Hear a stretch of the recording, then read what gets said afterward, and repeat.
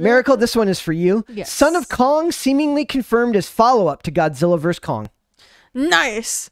Uh, So I need Baby Godzilla Yes. and Son of Kong to go. Yep. I mean, I'm, I'm assuming that's what they would want to happen here, right? Uh, so it says, uh, following the recent news that the next film for the MonsterVerse is moving ahead and set to film in Queensland, Australia, we now have more to confirm about this project. According to an update provided by Production Weekly via Kaiju News outlet, not only will GVK or Godzilla vs. Kong director Adam Wingard return to direct the upcoming quasi sequel to Godzilla vs. Kong, confirmed in a, uh, confirming another previous rumor, but the film also currently holds the working title of Son of Kong. So who knows if that? I mean, I'm assuming that means like usually they would hide a title like that until they were ready to to announce. But they have this art here from the So badass. I know. For the people on the uh, listening in the podcast, listening to the podcast, it's uh, just a badass image of Godzilla and Kong attacking each other as helicopters uh, go overhead. And there's Do uh, you ever think that like they're like they're both looking at each other open mouths and screaming, and they're like, "No, you pick the restaurant." that could be totally it.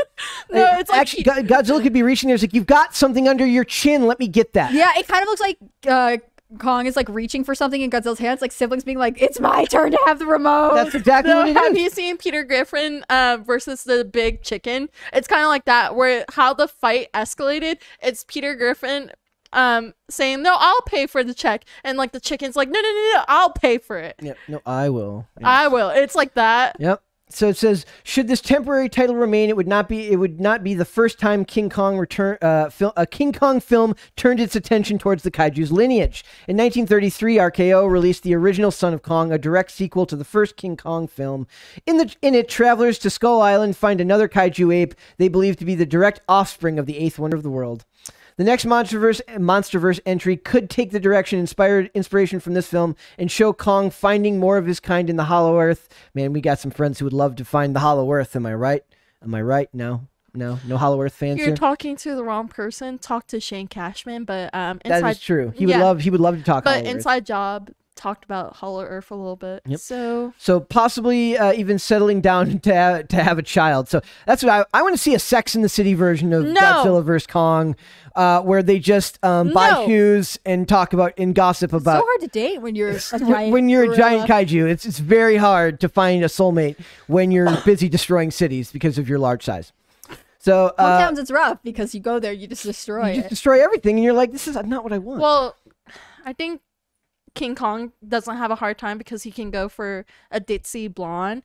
While what?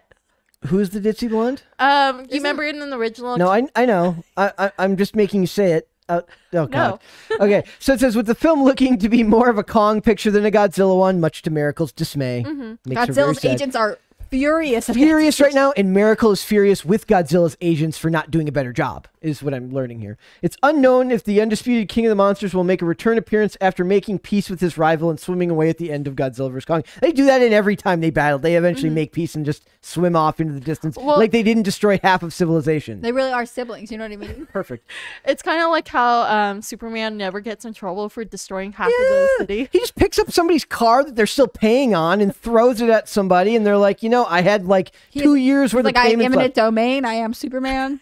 Superman domain. He's like, like, you know, do you think that guy's ever like, dude, that's my only way to work. I don't like Superman. Mm-hmm. Screw this guy. You couldn't have picked up the junker behind me.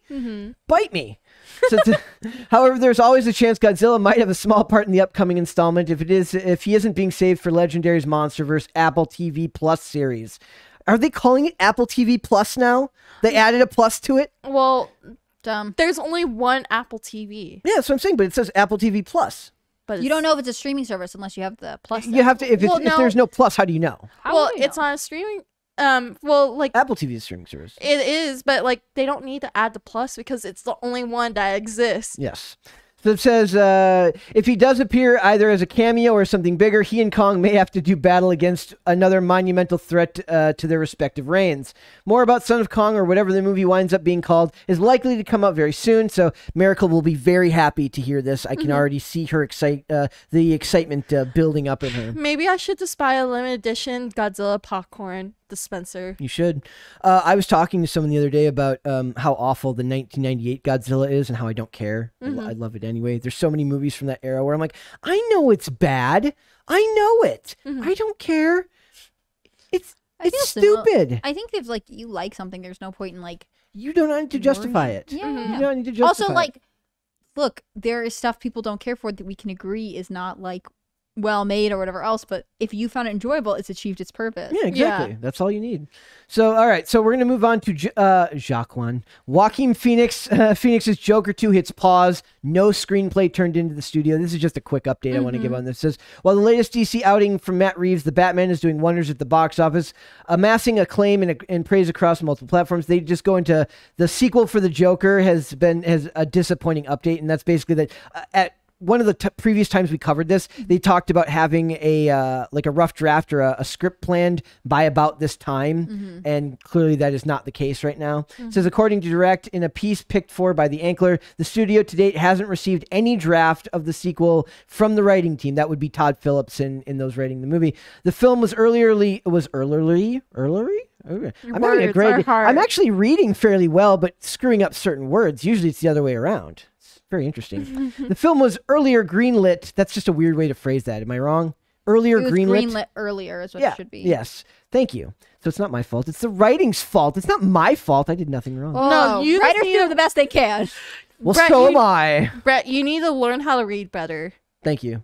Coming from the person who can't read at all. Yes, uh, that's like um, me telling a pro basketball player they need to be better at pro basketball. yeah um, it's uh, yes, so that, that's fine. so the, the film was earlier greenlit by the studio owing to the unexpected success of the film, which grossed more than a billion dollars at the box office without China. You should uh, you should make note. So not only did it make a billion dollars, it did so without China, and it did so with an R rating, which is almost unheard of uh, in that genre. It's the highest grossing R rated film of all time. The announcement for the sequel was met with a mixed reception, mainly from people like like Tim's all about it. Tim's like, I want to see a sequel to this movie. I'm like, this movie does not need a sequel. yeah This is a very art house film that does not need to have the i think it's cool to have like an art house super super villain movie Yeah, too like exactly. just break from the form of being Yep. like oh that worked we'll make 27 of them And that's what it was like. like when when we're like when I was watching the movie, as it kept going and it got better and better, I'm like, oh, I'm like every time something good would happen, I'm like another checkbox that probably means I'm gonna get a sequel. Another oh oh that was great. you're like scared for it it's yeah, doing so well I'm like, could like you could you how do i protect you could you have like a, a lazy second act? It would really help me not know me not have to deal with you getting a sequel. I don't want that.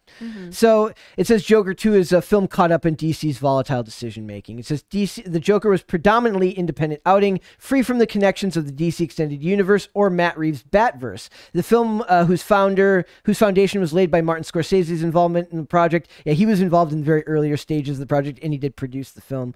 So the, it deals with the idea of mental health, depression, anxiety, social stratification, all of which are themes that fit with this movie, not so much with the Flash movie that they keep talking about, like how it's going to talk about mental health. Nobody cares about that. So I am just bummed that there is no script yet, but we'll keep an eye on this one. I just wanted to give a quick update for that one and then move on. So this one uh, is from the BBC. It says BBC or from Lad Bible. It says BBC defends leaving in racial slurs in Little Britain scene. Did you guys see uh, this article before I? Did you guys watch it? I saw the article, but I didn't like look into it because Okay. I was like, I don't understand what's happening. Okay, so it says the BBC has defended the decision to allow Little Britain scenes featuring racial slurs in the comedy when it returned when it returned to iPlayer this month. So basically, they took stuff off. Uh, because of backlash, because of certain scenes. It says Matt Lucas and David Walliams' comedy show was removed from several streaming services in 2020 amid controversy surrounding some of the sketches. Following a series of edits to reflect the changes in cultural landscape, which is the most 2022 thing, uh, straight from a publicist's mouth. Like as they wrote that, they're like, "Man, I am so good at my job." Like I can literally see that. Like her name is like Claire. Why? No, not Claire. Her name is uh, what I would didn't write it. oh, what, what would her name be? Her name would be uh, Courtney. Courtney. Okay, is that what you said? She's Courtney? an Ashley. Yeah. She works at the She's PR a Courtney. firm. She's, She's like, here she's, we go. she's like bright blonde, and she's she's she's got Oh, her then degree. that's a Brittany. That's a Brittany. Okay. So Brittany wrote this press release, uh, and she's like, yes, the changing cultural landscape, which is not how actual human beings talk, Mm-hmm. but it, it is what it is.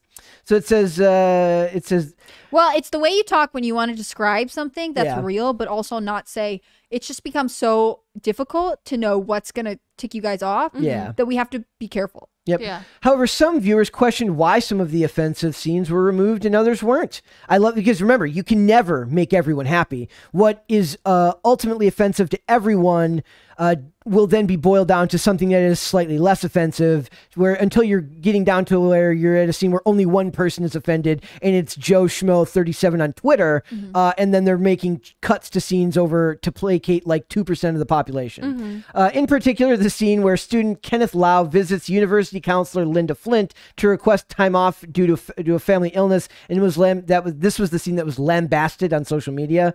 When asked to describe Lau, Flint said he's got straight black hair, yellowish skin, and the slight smell of soy sauce. Uh, yes, inappropriate. Uh, is it something worth like? Imagine the amount of work that went into editing this out. Is it really going to change anything? Or do we just let it lie and accept that people need to be able to take a joke once in a while? Was it insensitive culturally? Sure. Did they mean ill by it?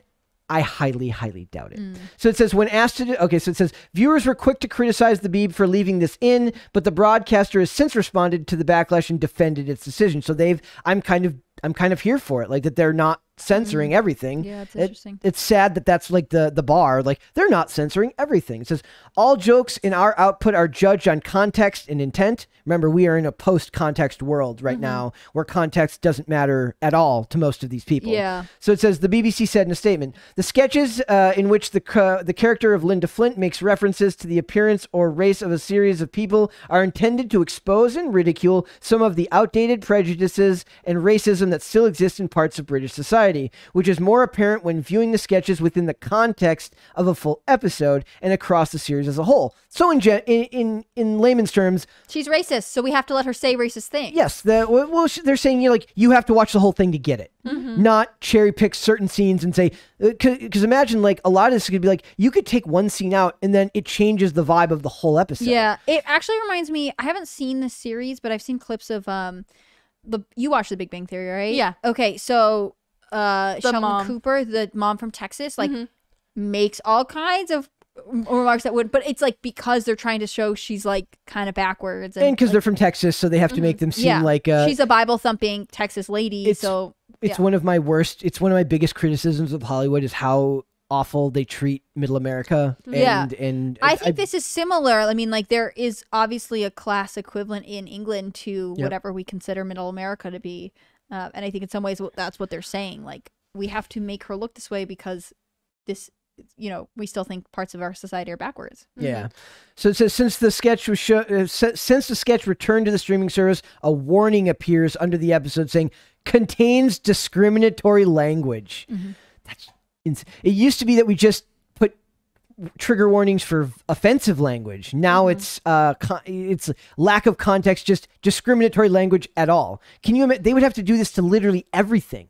I don't think such a thing exists anymore where you couldn't find at least one thing wrong with everything we've watched. Mm-hmm. So it says Little Britain has attracted some criticism in recent years over the way it depicted ethnic minorities and people with disabilities, as well as how it dealt with issues of gender and sexuality. That is like the holy trinity of things you're allowed to be offended about mm-hmm. without yeah, without having to really come drum up much of an argument. Anything can be looked on those lines and be criticized. Like if the woman isn't perfect, they're treated poorly. If the guy is shown to be at all um, needy in the relationship, he's being or like uh, asking something from his uh, from his wife, he's being patriarchal. Uh, it's it's very clear to me that these things are all critical theory based, and that you're go- you could make this argument for anything they're talking about. So, if we're thinking their mindset, so do we get rid of TV shows that are a hit like Married with Children? Yeah, oh they- yeah, that's um, problematic now. mhm. And then like TV shows like certain episodes of King of Hill, Yeah, oh, they yeah. had really bad episodes where they Mhm. treated um Luann, the niece, like really badly because like she's kind of dumb. Even John Redcorn would be Mhm. considered problematic now. Yeah. Yep. So if we thought that way, a lot of our favorite TV shows that kind of build up how television is today, Yep.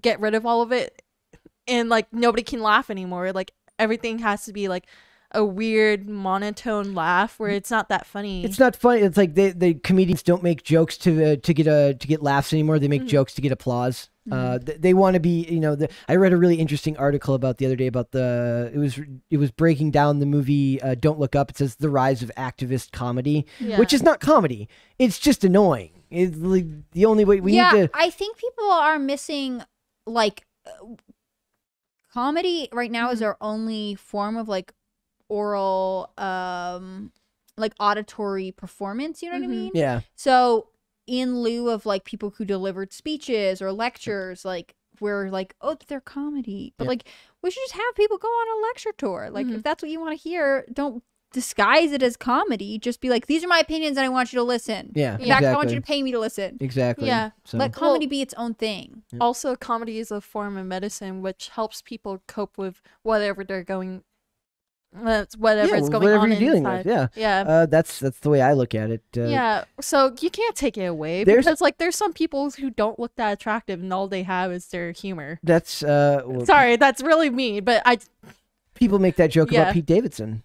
I know. Don't take that away from him. That that is yes. Do That you is guys think he's funny? Uh, No. no, I don't. But that's I, I also like I've only seen him on Saturday Night Live, and Saturday Night Live hasn't been funny since That's like I was in diapers. So I kind of wanted to watch his um like is it the King of Staten Island? yes, Yeah. uh, I kind of wanted to see that because it'd be like curious to see a movie that he is like really deeply involved in creatively. Because like Mhm. I don't want to just write him off, but like I've never seen him perform in a way that like makes me laugh. yeah he's Yeah. uh, he. The only thing I've ever seen him be funny in was the Levi Wokes skit on Saturday Night Live, which is That literally- one is kind of funny. that was like the last time I've ever seen Saturday Night Live be funny, and that was Mhm. like it's literally everything you can't make fun of now. It's like gender non-conforming denim.